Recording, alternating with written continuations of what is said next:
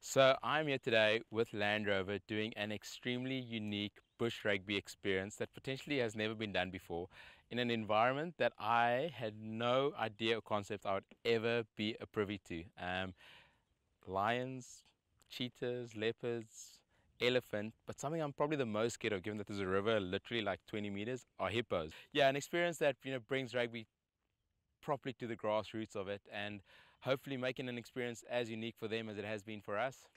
So New Zealand's performance, uh, bouncing back from the first Bledisloe Cup loss in Perth, uh, they, they needed to put in a good performance. And knowing that they were under pressure, knowing that the Bledisloe Cup was on the line, and for big games, usually you go back to your bread and butter, what you know, but Steve Hansen didn't, and they put in a, a performance that you'd expect.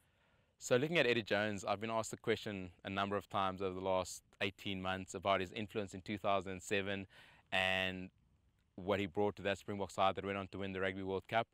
We really got the fun-loving Eddie that didn't have to deal with the media, and we got a incredibly astute rugby brain, really being able to talk rugby, allow us to live and breathe rugby, and bring small, intricate, detailed changes to our game that allowed us to progress and, and go on and win the competition in 2007.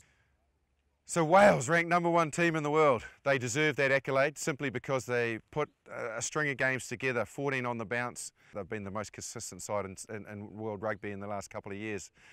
Uh, they are well coached uh, under Warren Gatland that uh, given the right um, opportunities and, and, getting to a final uh, are capable of winning it and, and deservedly so. So Aphiwe Dyantyi has unfortunately as what it looks like, you know, not only not played rugby over the last couple of weeks and months, but potentially is now in a position to, you know, to go out and, and miss the Rugby World Cup 2019, which I think for him personally is, is really unfortunate and disappointing given that he went on to become the most promising player in world rugby in, in 2018 and there was just so much expectation of him. You know, unfortunately injury has curtailed his progress. Is easily replaced? You know, you look at the likes of a Cheslin Kolbe, Makazole Mapimpi, uh, Sbu Nkosi, who had an absolutely brainstormer game this past weekend. And yeah, I think we got people in that position to, to make it you know, possible. So will his loss be felt? I think so. But I really believe that there's people in the positions that could probably easily do the job that Aphiwe has become accustomed to over the last year or so. Sevu Reece and George Bridge were outstanding uh, in uh, the Bledisloe Cup in Auckland at Eden Park. Uh, Rieko Ioane, he's been one of the All Blacks' best in, in recent years.